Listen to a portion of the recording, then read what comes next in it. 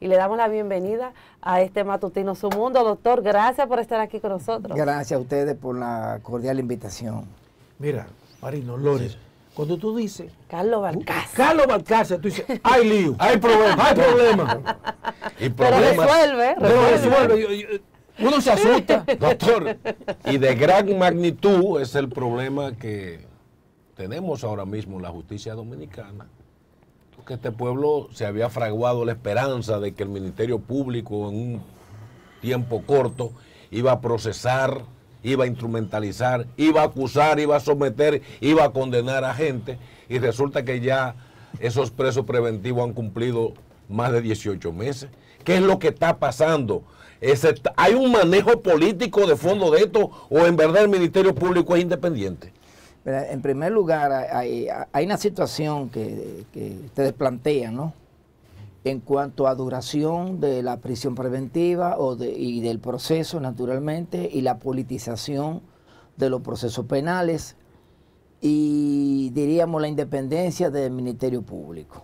Eh, brevemente, en primer lugar, el factor tiempo en cuanto a asuntos de procesos penales eh, tiene una bifurcación hay un tiempo fijado para la duración de un proceso y hay un tiempo fijado para la duración de una prisión preventiva. El tema de la prisión preventiva y su duración es un fenómeno nuevo, vamos a llamarle así. Eso fue después de la Segunda Guerra Mundial, porque ninguno de los códigos, diríamos europeos fundamentalmente, eh, no prestaban atención a la duración de una prisión preventiva. Después de la Segunda Guerra Mundial se crearon cónclaves, congresos, tratados, opiniones doctrinarias y al final se le puso una fecha en determinados códigos a la duración de la prisión preventiva. Si vemos, por ejemplo, el Código de Instrucción Criminal derogado, ¿no? El que fue sustituido por el Código Procesal Penal, que fue el código que trajo el ejército haitiano en el 1822, el Código de Instrucción Criminal francés, ese código no le ponía plazo a la duración de una prisión preventiva. El nuevo código sí. Entonces, como le hablaba de una bifurcación, la prisión preventiva sin que intervenga sentencia en primer grado, obviamente, es de un año, pero o sea, 12 meses.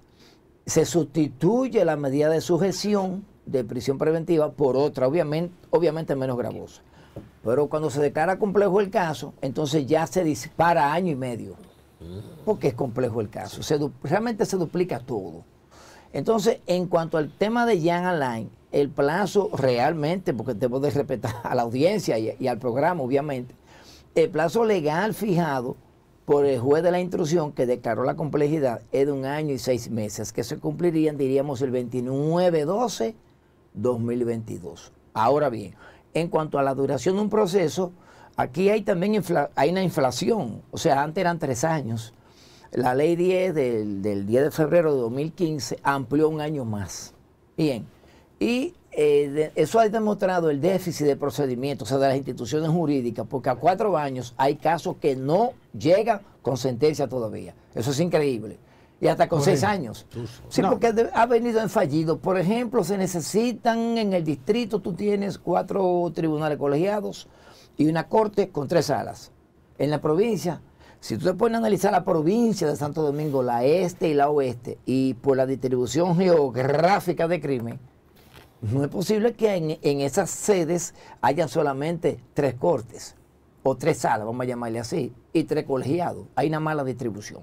Entonces, como la Suprema Corte de Justicia no tiene el presupuesto para crear, por ejemplo, en el distrito, hay cuatro colegiados, crear dos más. Hay tres salas de corte, dos más. Crear en la provincia, dos más, etcétera, etcétera. No hay presupuesto para eso, porque una sala, pena, una sala de corte un tribunal colegiado o cuatro tribunales unipersonales conllevan presupuesto, personal, juez, etcétera, etcétera. Entonces, cuanto al tema de Jan Alain específicamente, lo que mantiene Jan Alain preso, de acuerdo a las decisiones de, los magistrados, por lo cual ha transitado el proceso, ha sido en base a un miedo sin sustancia que le ha inoculado al Ministerio Público desde los albores del problema, y era el temor a la obstrucción de la investigación. Ese, ese tema, para imponer prisión preventiva, por ejemplo, hay tres grandes temores. Fuga, obstrucción de la investigación y reiteración delictiva. Esta última tiene sede generalmente en la violencia intrafamiliar. Golpeó a la mujer, ¿verdad? A la compañera, a la esposa, un hematoma. Cuidado, eh, con liberarlo porque la puede matar. Aunque no hay datos tan científicos, pero hay un temor. O sea, se excluye ese tema. Entonces tenemos el tema de la obstrucción de la investigación. Es un tema, es un criterio inventado después de que se le puso fecha a la duración de un proceso, inventado por una corriente doctrinaria. Toda, toda tendencia de permanecer con personas presas o no, con liberalidad o no, tiene su doctrina. Entonces la doctrina se inventó la obstrucción a la investigación. Las estadísticas no nos entregan a nosotros un solo caso en delito de cuello blanco. eh. Un caso de obstrucción. Ni siquiera un caso de fuga. Por ejemplo, yo manejé el tema, por ejemplo, de Renove. Yo fui jefe de Consejo de Defensa de Franco Badía. Uno no se fue. Uno. San Gubson el único. Y lo descargaron allá donde está la dictadura de la ley en Estados Unidos. Y bueno, Michelin del PRD, Sí, como sí, estaba el PRD, el único caso que hay de, Fue de ellos mismos. España, España. Que se fue en un avión a nombre de Mr. White, me Mr. parece. White, y murió. Y murió en, su fugitividad. Pero no hay estadística, no hay ejemplo. Ahora, ¿qué hace el Ministerio Público? Inventa eso. Jean Alain lo tiene preso, en síntesis, porque como fue procurador general del Ministerio Público y en esa sede eh, fue donde se desarrolló el epicentro, el vórtice de la investigación, obviamente habría que tener cuidado, decían lo- los fiscales, y algunos jueces se lo creyeron, de que podría obstruir la investigación. Señores, la investigación clausuró ya. Se clausuró el 8 de junio. Entonces, porque cuando ya se clausura y se acusa o se dispone de un, de un archivo, vamos en este caso a acusar, ya no hay temor, porque ya hasta ustedes tienen la acusación. Ya no hay temor, no hay que, no hay que obstruir nada. Vamos a ver entonces cuál es el nuevo discurso del Ministerio Público. Hoy así, así, a distancia, eh, uno de los miembros de la cadena del Ministerio Público decir que Jean Alain quiere huir. Señores, estamos, estamos coadyuvando al atraso institucional. O sea, el tema de huir ya no existe en estos tipos de delitos, de infracciones. Por ejemplo, ya el pasaporte, vamos con el pasaporte, ya el pasaporte no te hacen así cuando te, cuando llega a un aeropuerto. Ya no, ya es biométrico. Es el satélite que indica al, al- computador. Ese es el uno. Dos, el pasaporte lo va a tener el Ministerio Público. Tres, ¿para dónde va ella, Ana? ¿Va para Haití? ¿Va para Micha? Una, toma una yola. O sea, vamos a, vamos a ser, vamos a ser eh, eh, razonables con la situación. Entonces, no hay ningún tipo, el temor sí hay de que Jean Alain esté en libertad preparando su defensa. Ahí sí hay temor. ¿Por qué? Porque cómo nosotros podemos introducir al, a- al ergástulo, ¿no? 50 mil páginas. No, Eh, es es imposible. una locura. No, no, es imposible. Por eso el juez ordenó que en una memoria, con un programa específico, se le permitiera entrar porque eso tiene un control. Y yo, ni ninguno de los abogados vamos a introducir un, ilegalmente un dispositivo de esa naturaleza, porque nosotros no hacemos eso. Entonces ya se permitió que él por lo menos, pero no es lo mismo un imputado con un computador a unas horas limitadas de, con sus abogados, que es una hora eh, contabilizada, con un reloj que está puesto ahí para eso nada más, preparar una defensa, vamos a llamarle, donde hay no solamente 12.500 páginas, no. Lo que ellos quieren alimentar con el fardo probatorio se está, está alcanzando prácticamente 300.000 páginas. Sí, físicamente. o sea, no estamos hablando que es el reino de la verdad. No, no, no, no. Es el reino de un amasijo de documentos, porque mientras más documentos yo te introduzco a ti, más miedo creo. Ya la palabra blindado me luce más.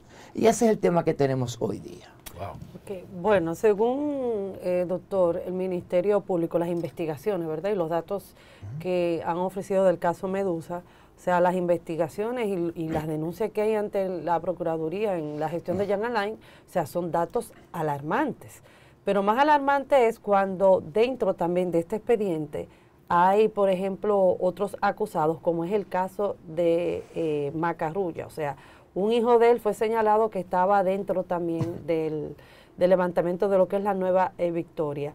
Me llama la atención, él, por ejemplo, él renunció, él incluso las autoridades supuestamente lo llamaron y hicieron el levantamiento de la información, pero no se sabe, o sea, qué va a pasar con él.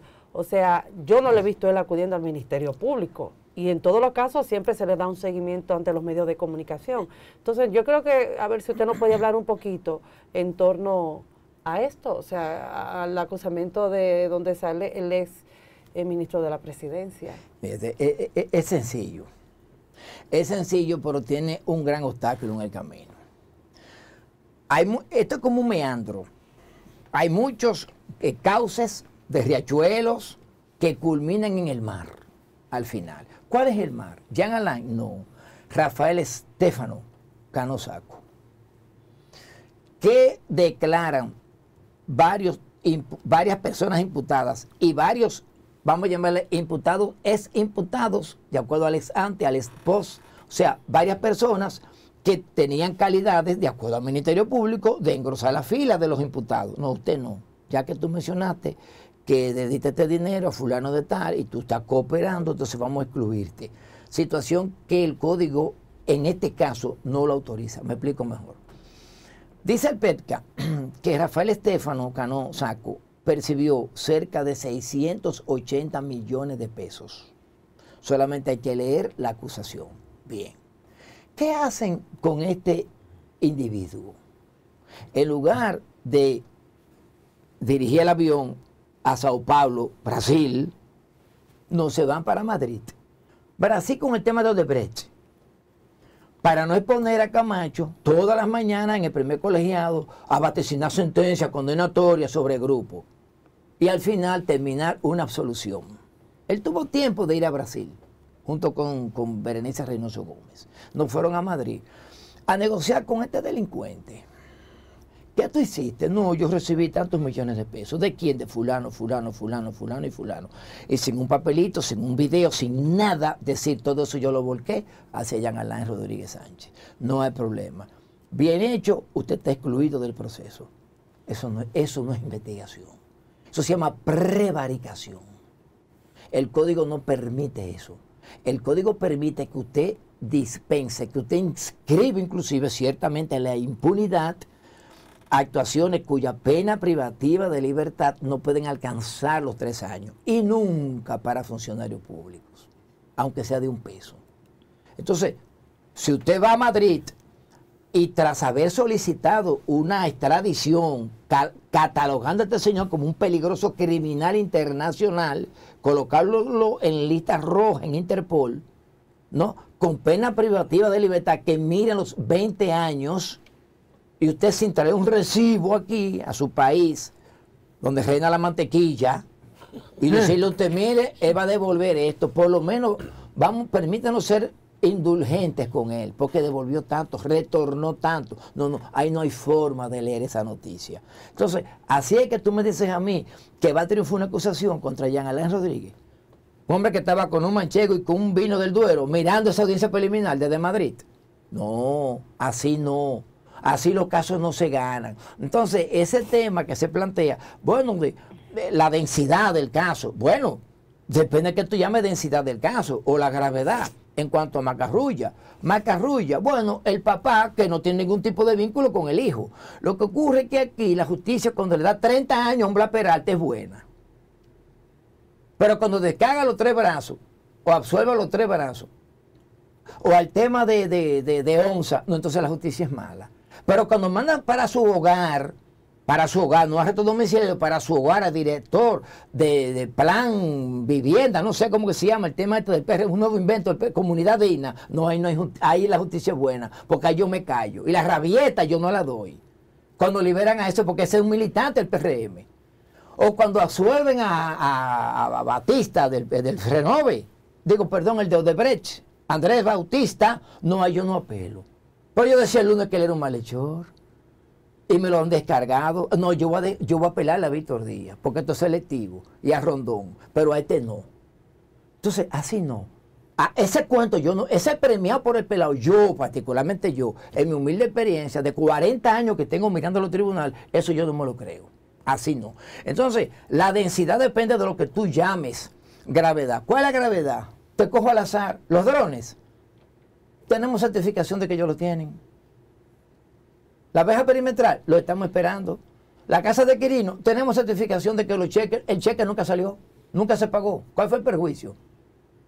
Y así hay 18 situaciones, pero no conviene que eso se discuta con Jean Alain en libertad, porque no es igual Jean Alain en libertad con nosotros los abogados, es, eh, eh, eh, de 8 de la mañana a 8 de la noche, como debe de ser, durante dos semanas o tres semanas, salí cenizo de ahí esa reunión, bajo el fuego de la acusación, que el enajayo con una hora y media solamente disponible.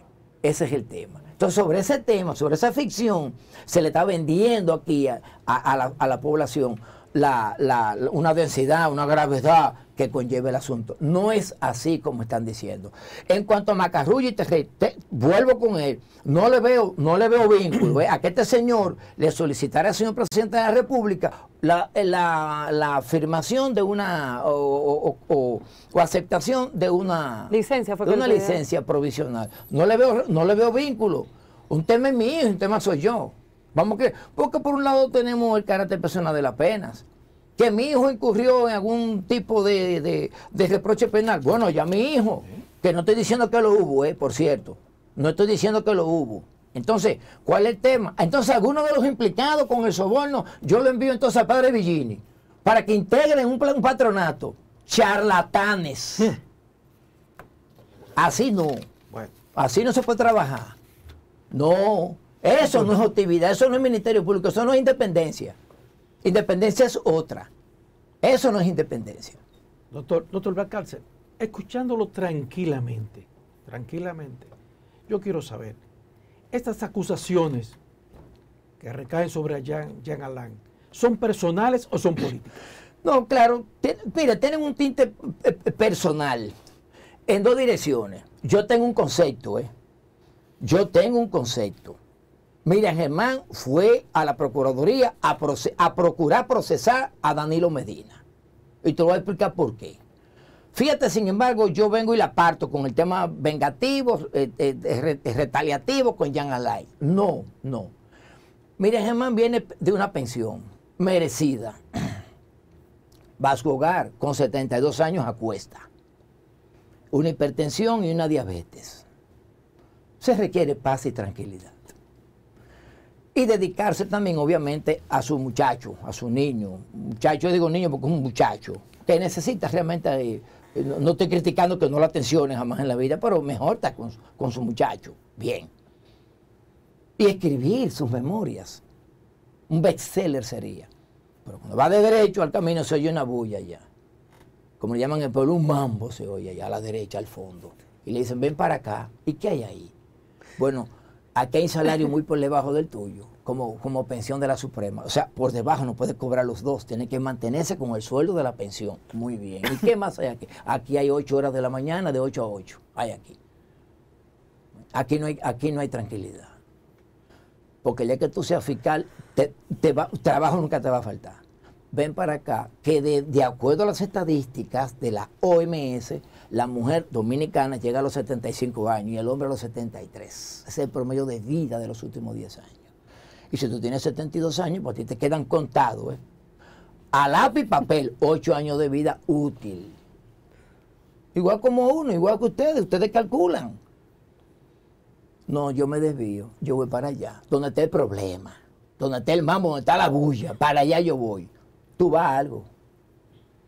Eso en primer lugar. En segundo lugar, en varias instancias contentivas de acusaciones y de medida de coerción se, inscribía que estos imputados actuaron bajo el amparo y conocimiento de quien fue el mandatario de la nación, sin mencionar nombre. Luego, en un estadio superior, señalan el nombre. En otro caso, Danilo Medina Sánchez. No, no, no, vamos a estar claro. Tú fuiste a procesarlo a él. Que lo procese, bueno, yo no soy adivino no soy adivino, tuve en el Parque Riquillo con un elenco de, reptiles y un trapo negro adivinando el, pensamiento, el, pensamiento a los incautos. No soy adivino, pero puedo intuir algo, porque la intuición es la que empuja la inteligencia, de acuerdo a Einstein. Puedo intuir que lo quieren procesar. ¿Lo van a procesar a Danilo Puedo intuir que, lo, de acuerdo a lo que he visto, piensan procesarlo. O sea, que vamos a ver a Jean Alain en el Ministerio, a, Danilo Medina en el Ministerio Público. Perdón. Vamos a ver a Danilo Medino caminar por el Ministerio Público, como han sido los otros también acusados. Transitando. Ese es mi criterio personal. Esa es mi intuición. Y a margen de que fue una un miembro del Ministerio Público, una dama, ¿verdad? Eh, a decir que sí, que él está dentro del caos investigativo. Y el propio Camacho Camacho lo señaló, sí, sí, en eso no hay ningún tipo de inconveniente. Y la propia Miriam Germán Brito lo manifestó. Nosotros no tenemos ningún tipo de soslayo en, en, tratar con soslayo a expresidente. También cualquiera puede ser. Y lo que ocurre es que a Leonel Fernández nadie lo está mencionando ahí, en, esos documentos. Entonces, todo esto indica de que parece que y, y piensan procesar a Danilo Medina. Ahora, que sea fácil procesarlo es una cosa. Que sea fácil procesarlo es una cosa que no entre por la puerta principal, por el frontipicio y entre por el sótano, como lo está haciendo el penco últimamente, ya es otra cosa. Pero de que lo pueden procesar, lo pueden procesar. Doctor, en esta nueva... Esto es personal mío. ¿eh? No en esto no habla el Consejo de Defensa de Jan Alain, es un concepto mío personal. Doctor, en esta época de, de las redes sociales, que eso no existía antes, usted comenzó a ejercer derecho, ¿hasta qué punto las redes sociales le están torciendo a veces el brazo al Ministerio Público en las tomas de decisiones. ¿Hay algo de influencia en eso? No, lo que pasa es, parece, y también me escribo en la, en la, intuición, parece que hay un nuevo paradigma en el Poder Judicial. El Poder Judicial no podía seguir como, como iba. Con el cambio de la medida de, eh, cautelar eh, del caso Pulpo. Por un lado, y por ejemplo, observa que en Larva un 50% se fue para sus casas, en Larva. En Falcón no pasa un mes sin que liberen uno o dos imputados, lo cual no es que lo aplaudo, pero el juez entendió eso, es el juez que analiza, pues está bien, lo hizo el juez, usted no está de acuerdo, pues entonces recurra a la, la resolución. No imite a Andrés Bautista, recurra y vaya a la alzada y explíquelo a la alzada en lo que hace berrinche en, los medios de comunicación. Vaya a la corte, que Santiago es un litoral muy respetable, tiene una tradición de respeto, Santiago. Entonces, entiendo que no es tema de las redes sociales. Las redes sociales no significan un gran, una gran densidad humana, no crea. Lo que pasa es que están ahí personas vigilantes, obviamente dedican tiempo a ese tema. Y es cierto, ya las noticias ya no corren por los rotativos físicos. Yo fui yo dije en un programa, yo fui encargado de tráfico de John Rubí Candamari hace unos 40 años.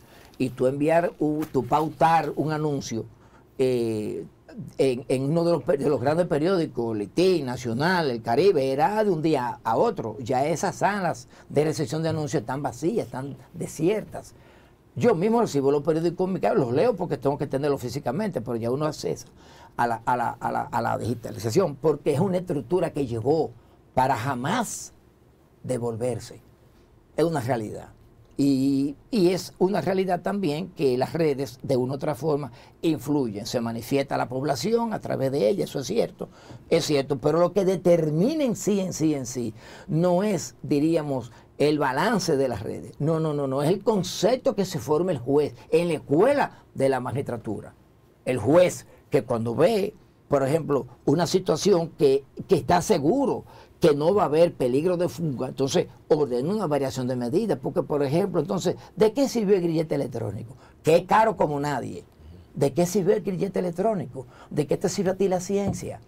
¿Cómo es posible que en estos momentos donde el ser humano, por cierto, antes se decía el hombre, una mujer que dirige el Instituto de Propulsión a Chorro de Pasadena, California, te envía un robot a Marte, a, a lo que fue la laguna del Yesero, y desde allá te envían fotografías a computadoras y te taladran el piso de Marte.